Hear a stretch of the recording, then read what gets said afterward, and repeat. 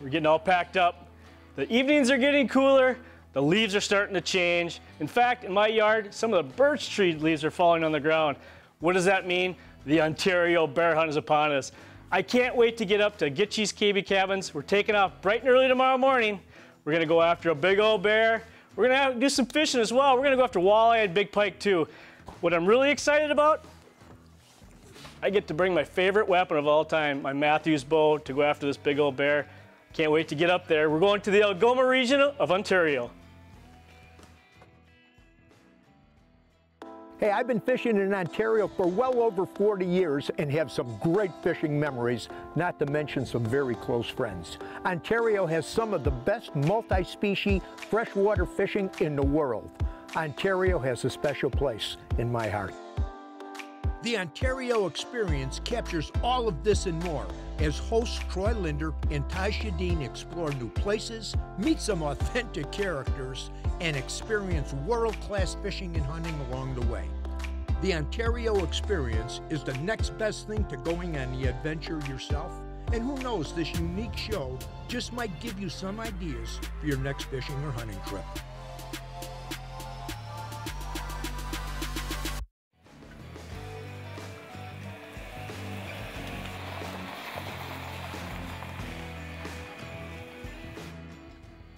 Have been more excited about this trip to Agich's Kaby Kabins in the Algoma region of Ontario.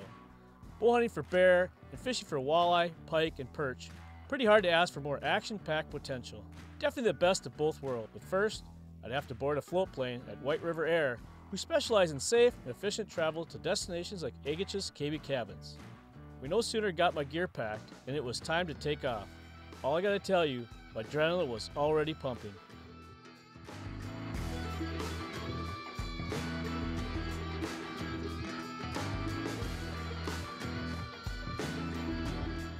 Then before I knew it, we were there.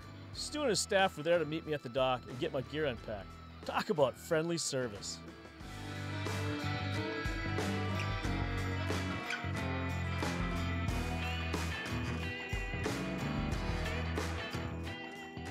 As far as the accommodations, I couldn't have asked for anything more inviting and comfortable. We drove in to White River, which is in the Algoma region of Ontario last night. Little fun fact about White River, it is the home of Winnie the Pooh. We spent the night in a hotel last night, got up bright and early, flew into Agich's Kaby Kabins. We're gonna go get checked in, unpacked, hit the lake, and see what it has to offer. I have a feeling, from what I've seen on their social media page, there is a ton of walleyes and a lot of northerns too. Let's get this thing going.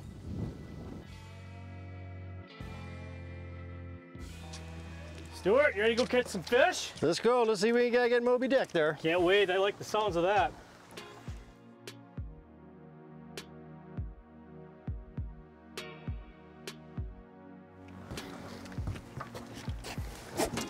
Okay, we're gonna head uh, down towards Whitefish Bay. A little deeper, A little deeper water down there, yeah. a little bigger fish probably maybe. I hope so, yep. Sweet, let's go find them. Yep, let's get at her.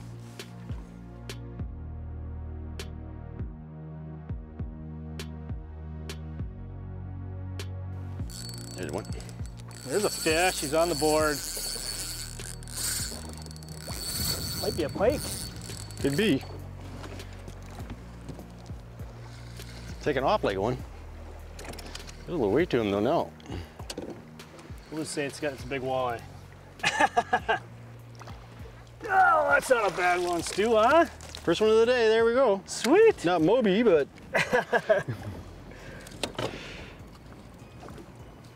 There you go. Not a bad first start. Sweet. Oh, these things are so pretty, aren't they? short lunch. Yeah, we could have some shore lunch. Which Yeah. you got it in there? You're not going to talk to me out of shore lunch,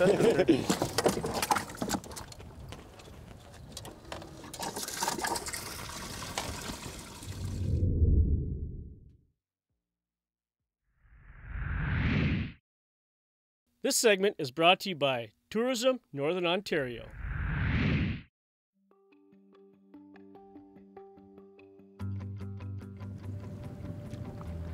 Got him. Feels like another nice one. Walleye. Walleye for stew. Another eater. Got him. There you go. Sweet. Popped right out for you. Did it? Yep. There we go. Easy. That into there. Sweet. That's a good eater. Yeah, that's a good eater. Looks like we're eating some shore lunch today. Two in the box. Stu is uh, doing better than I am with the jig in the middle. I did lose what I would think could be a pike on this jigging rap, but seems like every time we go over this, it's just a little drop off. We're coming off, and we either get a bite or we get a fish. So we're not fishing a very big spot. It's a spot on a spot. So we might have to even think about anchoring if possible. It's a little windy, so it makes it tough, but otherwise we'll just make short drifts. But we got two in the box. We're gonna have a nice little shore lunch for sure. There it is. I got him again. Got him that time. Yeah. Same rock, same spot.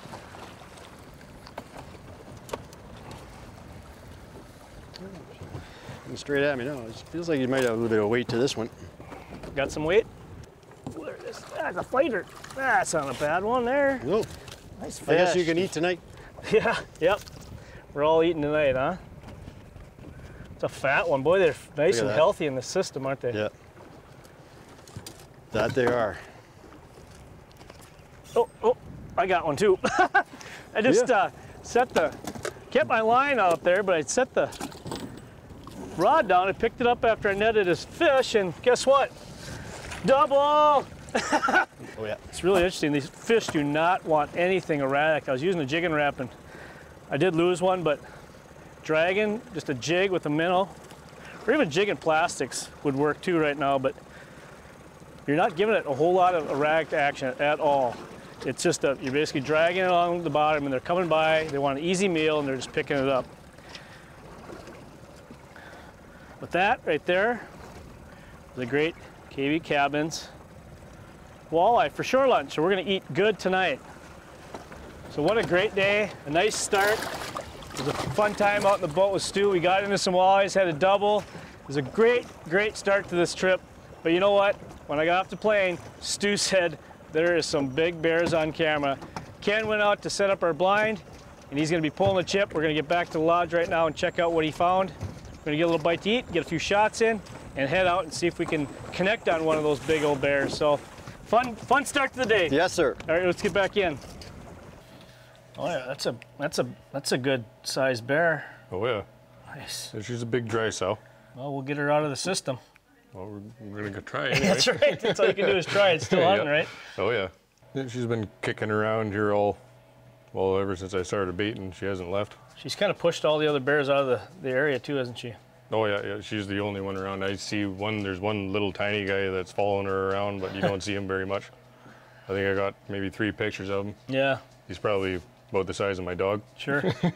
cool. Well, it looks like a good shooter. Oh yeah. I'm gonna try and get her. Awesome. Well, let's get uh, all set up and we'll, we'll head out there. All right. Sounds good. Whenever I'm on a bow hunt, I definitely like to make sure I get some practice shots in before any sit, no matter where and what I'm hunting for. It's just a smart way to make sure I'm on my A game and ready to rock and roll. So, with a few shots, I was ready to go.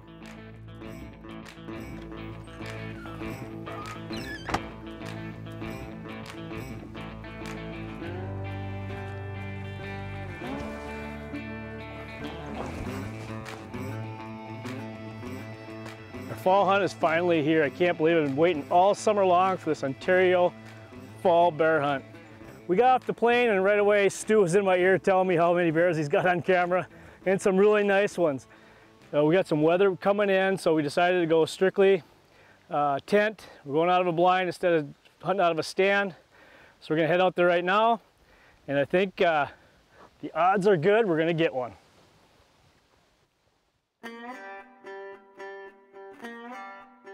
That said, it was time to take off by boat to the hunting site with Kaby's knowledgeable bear guide Ken. And again, I couldn't have been more excited as I loaded my bow case and accessories. We untied from the dock and he put the motor in gear.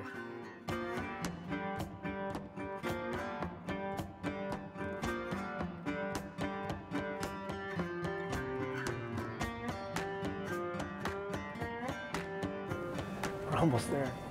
My heart's already starting to pick up. It's amazing what hunting big game animals does to a person's adrenaline and their heartbeat and everything that goes along with it. That's why, to me, hunting big game, bears, whitetail, no matter what it is, is so much fun. You know, not only the meat, the, the passion of hunting, it, it all comes together and, and, and, makes hunting what it is for, for people like myself and a lot of other you know, passionate hunters out there. So, let's see what happens.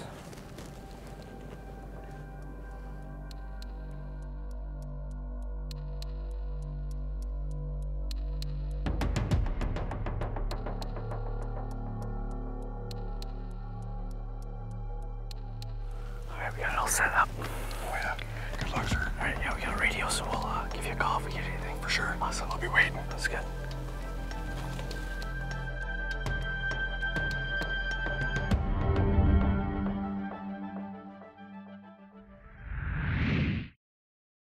This segment is brought to you by Go Hunt Ontario. So we're out for our first full day Stu and I are gonna go after some more walleyes. Yesterday we got in the lake after we flew in, caught a bunch of walleyes for a few hours, and then uh, headed to, to our bear site and uh, didn't see anything, but uh, she's around, she's definitely around. They got her on cam, so hopefully tonight we'll head back out there. But for now, we're gonna spend the morning, go after some more walleyes, maybe even get in some uh, nice uh, uh, northern pike as well. See what happens. There we go. There we got one. Boy, just, they're just sucking it in. Not a very big one, but a first walleye of the day. Small guy? Yep, just a little one. Good start. There's a lot of walleyes where we're at right now. They're just scattered. All I'm using is a, is a 3 8 ounce tungsten jig with the, you know, the traditional minnow. Uh, tungsten is is awesome because it's actually more dense. This is actually a 3 8 ounce jig. But look how small that is. These walleyes are real lethargic. They're not active. All we're doing is just dragging these jigs on the bottom. I'm not lifting it up. They're just picking it up as we're dragging it along.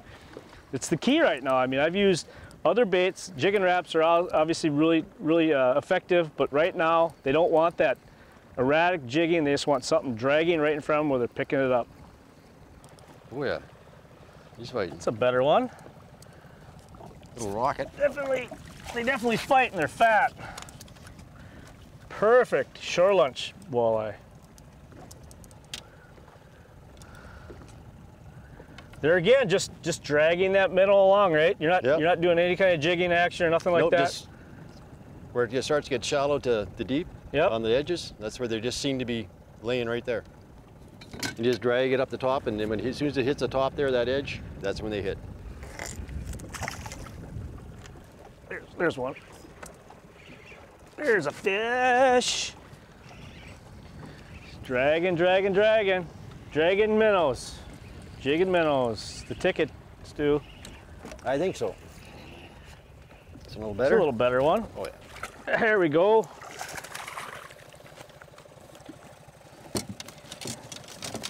Quit, quit. They're lively when they get in the net, that's for sure. Look at that thing. Absolutely buried that jig. So it's not that they're not feeding. They just want a really super easy meal. So, you know, don't overthink it. Just just give them what they want. I mean, you're talking a beautiful eating Kaby Lake walleye.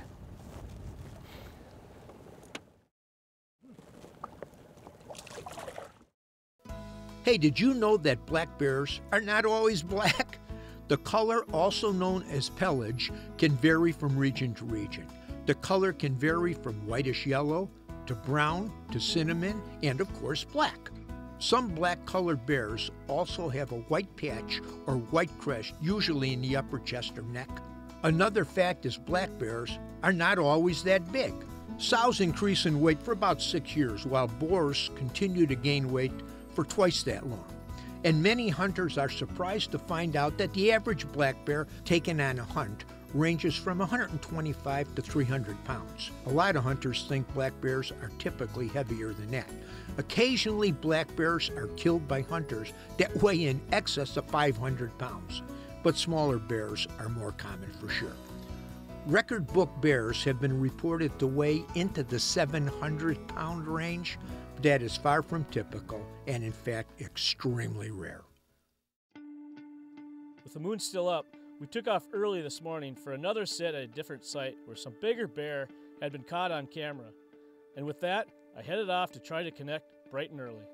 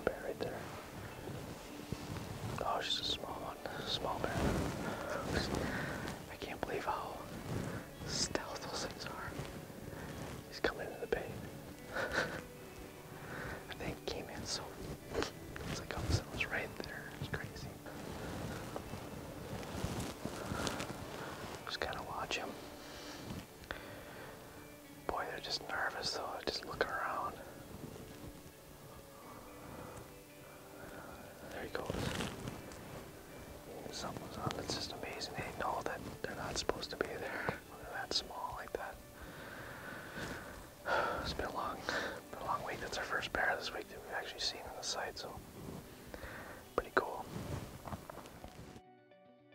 We've been in the business for 14 years. The, the camp has been, it was established in, I would say, 1970.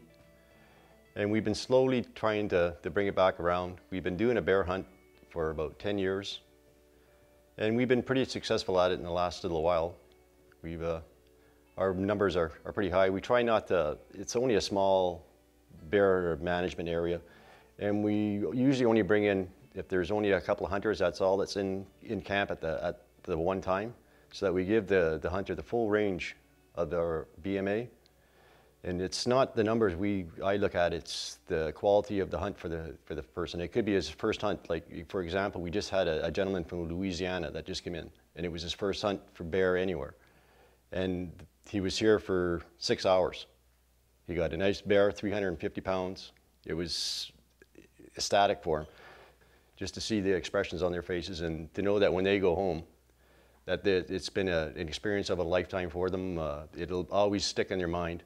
And this gentleman, he was so happy with it that he's already booked for next year and he wants to bring back a friend that he's never bear hunted before just from that one experience. And he was only here for a day and a half and it, it makes a big difference on how, as soon as they step off that plane, the, the sea, it, it, it just, it's unbelievable. Just like any time you're hunting, it seems like it comes down to the last sit. Well, that's what's happening right now. We actually moved to a new spot this morning, had action right out of the gates. We had two small bears. There's a, that big sow that we had seen on the far end. We were hunting it for four days, has moved to where we're sitting now. There's a couple of big boars that moved in. Things are happening right down to the gates, right down to the very end. Last sit tonight. We can't let it get by us now. It's gonna happen. We feel confident, don't we, Ken? We're gonna make it happen, I hope. We fly out early in the morning, so no chances past today.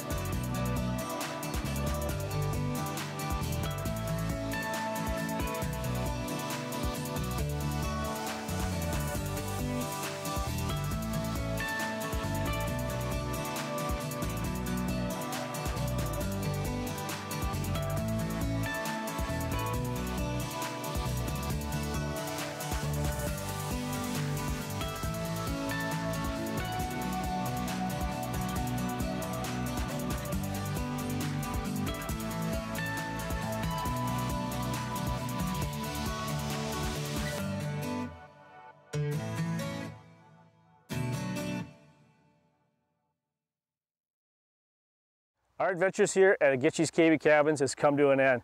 We saw a ton of bears while we were here. Just didn't find one that we wanted to, to put our arrow into. If we would have had one more day, I almost guarantee we would have found that right bear. We had big bears on trail cam, trail cam video. They were in the area. It was an amazing hunt.